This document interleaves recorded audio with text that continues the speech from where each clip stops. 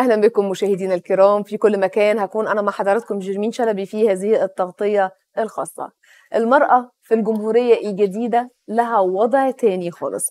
إحنا في العصر الذهبي للمرأة المصرية. عصر تمكين المرأة. طبعا ده بفضل توجيهات القيادة السياسية وتوجيهات سيادة سيادة الرئيس عبد الفتاح السيسي رئيس الجمهورية.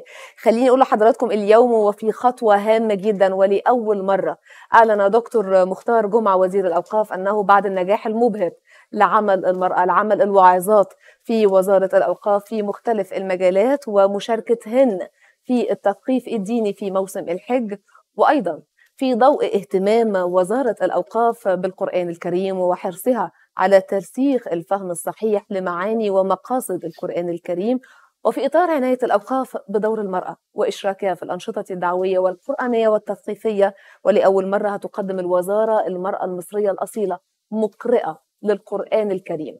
من خلال إطلاق أول عشر مقارئ قرآنية للسيدات يتبعها العديد من هذه المقارئ. أيضا تقدمها مفتية للنساء في قضايا المرأة وشؤونها من خلال انطلاق أول أربعة مجالس للإفتاء في قضايا المرأة وشؤونها على يد أربع من أفضل الواعظات المؤهلات لذلك من خلال العديد من الدورات المتخصصة في هذا الشأن.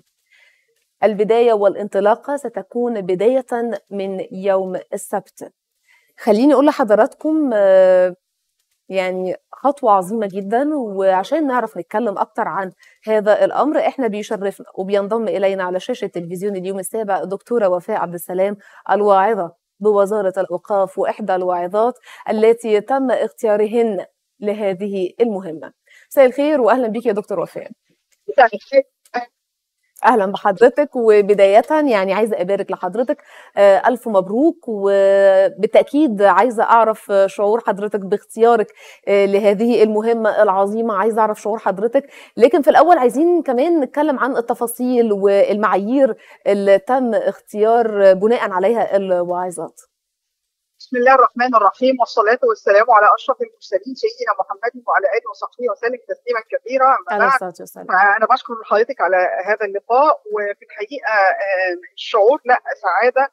سعادة غامرة مش بالاختيار فقط ولكن لوجود مكانة وأرض صلبة للمرأة المصرية تقف عليها صحيح. كواعظة وكمفتية وكمقرئة وكاتبة وكمشاركة في البرامج الإعلامية الدينية فالحمد لله سواء كانت مرئيه أو مسموعة فالحمد لله رب العالمين إن إحنا في الجمهورية الجديدة لنا هذه المكانة والحمد لله. طبعا زي ما حضرتك تفضلتي وافرتي سبق هذا الأمر إشراك الواعظه منذ أن يعني أعلن فخامه الرئيس عبد الفتاح السيسي عام 2017 هو عام المرأة المصرية ويعني تفهم للقيادة السياسية بمكانة المرأة ودورها في المجتمع وفي الأسرة آه تم اختيار مجموعة من الواعظات وتم تأهيلهم تاهيل وتثقيف على مستوى عالي جدا سواء في أكاديمية الأوقاف الدولية سواء في الدورات آه والمشاركة في حتى في الندوات الدولية والمؤتمرات الدولية اللي بتعقدها بتعقدها الوزارة. صحيح. آه بروتوكولات موقعة ما بين المجلس القومي للمرأة ومن الهيئة الانجليزيه وتم مشاركة الواعظات مع مكرسات وخادمات الكنيسه ونزلنا على أرض الواقع. ويمكن كرمنا فخامة الرئيس وسمانا سفيرات المحبة والسلام طلعنا الحمد لله لأول مرة يمكن في تاريخ مصر إن تطلع واعظة للدعوة خارج مصر وكان ليا شرف المشاركه في هذا الأمر إلى دولة السودان الشقيقة. طلعنا الحمد لله في بعثة الحج 2019 يعني للافتاء للنساء هنا ومساعدتهم إن شاء الله بالفتوى وبالوعظ فالحمد لله التأهيل كان كان كبير وأخذنا دورات كثيرة جدا جدا جدا سواء في أكاديمية ناصر سواء في جامعة القاهرة في الإعلام. الحمد لله بفضل الله تم إعداد مجموعة كبيرة في الحقيقة من الواعظات للعمل على أرض الواقع مع السيدات ومع النساء وفي خدمة المجتمع وخدمة الوطن. الحمد لله من فضل الله تم اختيار مجموعة وشرفت إني أكون في المجموعة الخاصة بالمقرئات وشرفت أن أكون بالمجموعة الخاصة بالمفتيات فربنا سبحانه وتعالى يعني جعلنا عند حسن الظن وأن ننفع العباد والبلاد إن شاء الله إن شاء الله يا فندم إن شاء الله. ويعني حضرتك تستحقيها وبجدارة الحقيقة. وأنا سعيدة جدا وأنا بسمع من حضرتك كل هذا الكلام. هي خطوة مهمة. الحقيقة إن هي خطوة هامة جدا. بس أنا عايزه أعرف يعني برأي حضرتك إزاي الخطوة دي ممكن تساهم في مناقشة قضايا المرأة وأمور المرأة؟ في الحقيقة في كثير من الأمور المتعلقة بالمرأة لو بنتكلم على الفتاوى كثير من الأمور المتعلقة بالمرأة التي تستحي المرأة أن تتحدث فيها مع الرجال تتحدث فيها مع الأئمة. فبتلجأ إلى المرأة في أمور كثيرة.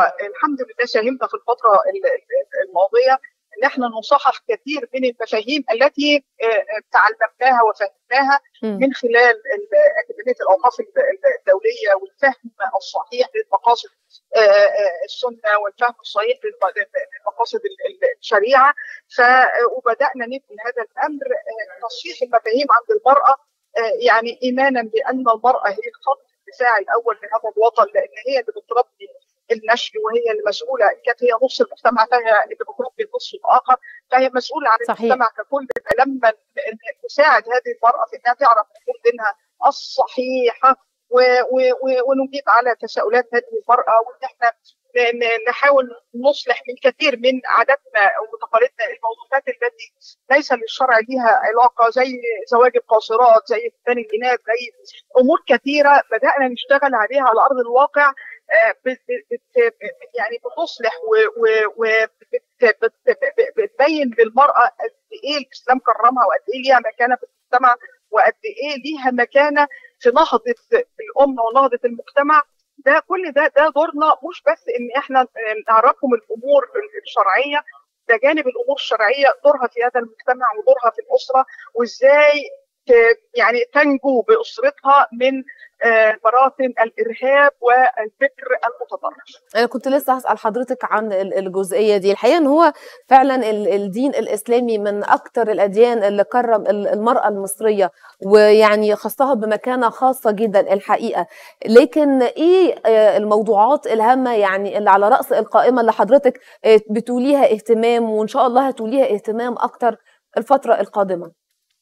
والله أنا يعني يعني أنا شخصيا مهتميه جدا جدا من فترة طويلة ومنذ أن اسند إلي كل هذه المهام اولا أنا منسق العام لمبادرة سكن ومودة اللي أطلقتها وزارة الأوقاف. فأنا قصة صلاح الأسرة وصلاح البيوت وإن ارتفاع عدد نسب الطلاق ان إحنا نحافظ على ان إحنا ننزل هذه النسب ونحافظ على الأسرة دي من أهم الأولويات، الأخلاقيات والسلوكيات من أهم الأولويات لأن هي بالقدوة هتطلع نشء صالح بدون إن هي تقول له افعل ولا تفعل.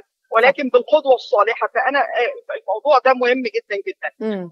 يمكن إيمانا من إن أول من يمارس العنف ضد المرأة هي المرأة فمناهضة العنف ضد المرأة من أولى الأولويات. مناهضة العنف بقى ضد المرأة بقصة الختان بقصة زواج القاصرات بقصة إن إحنا صحيح. نخلي المرأة عندها تمكين اقتصادي عندها رؤية لذاتها ولحقيقتها وإنها تحافظ على نفسها وألا تهان وألا تباع وألا تشترى ده كل الأمور دي إحنا مهتمين جدا جدا جدا بيها إن إحنا تدقيق وتعليم وتصحيح.